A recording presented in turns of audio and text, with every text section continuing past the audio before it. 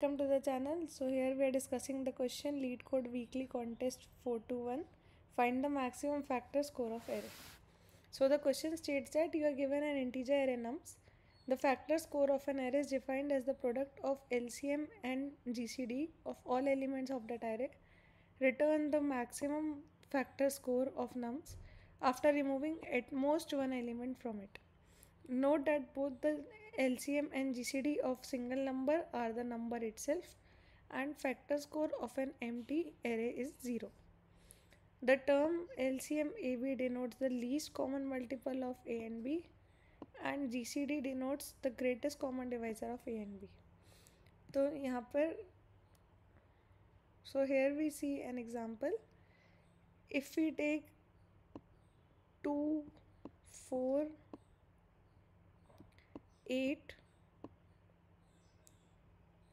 and 16 so here the LCM would be the least common multiple. Least common multiple means here 2 so 2 will be our answer for LCM and for GCD it will be 16 so we need to find the product of these two. So 16 into 2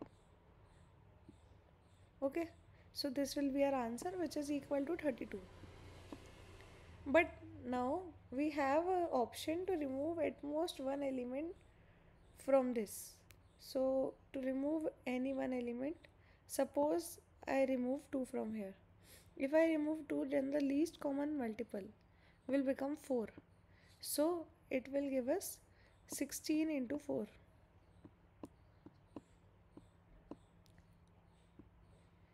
which is 64 so product is maximized.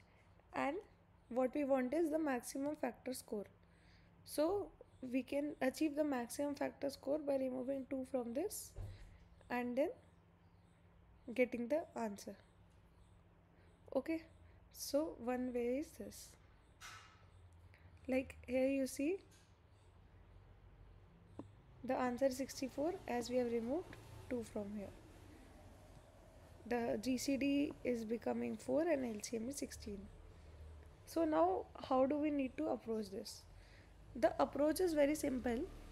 We will be using brute force. So in brute force what we will do? First we will calculate the GCD and LCM of whole array. Okay? So once the GCD is calculated and LCM is calculated we will take the product and store it in suppose a maximum score variable.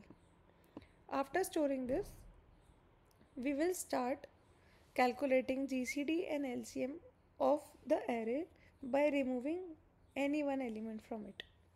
So we will start from a loop starting from 0 to n and there we will check GCD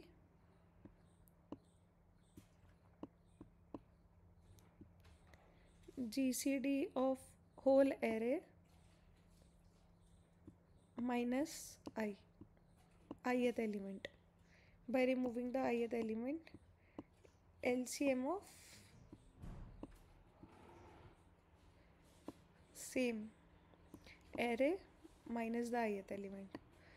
And for each ith element we will take the GCD and LCM and then we will take maximum of all these which are calculated. And whatever maximum output comes that will be our answer.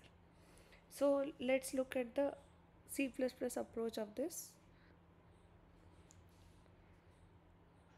So what we are doing is we are first taking if I have only one number let's suppose I have only 6 so GCD is the number itself LCM is the number itself.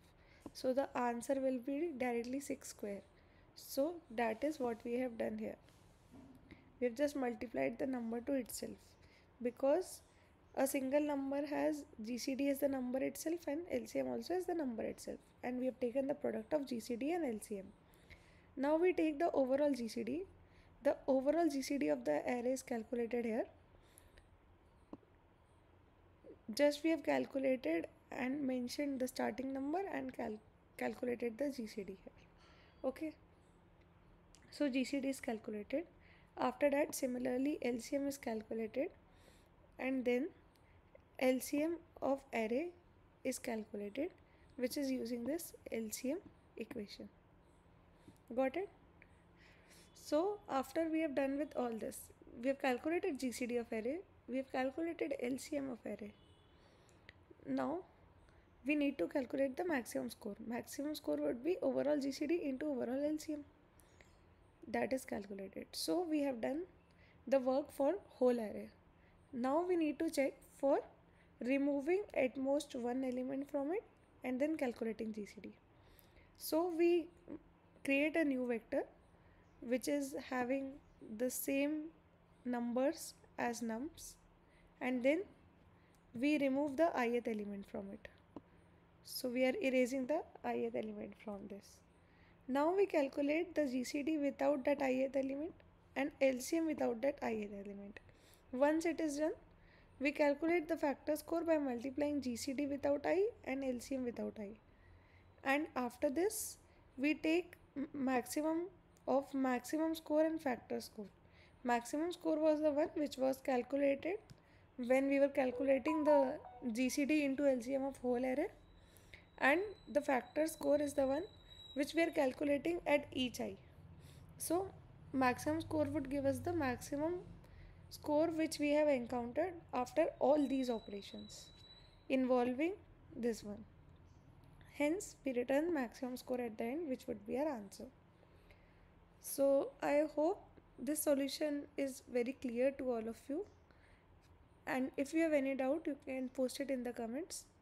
Thanks for watching.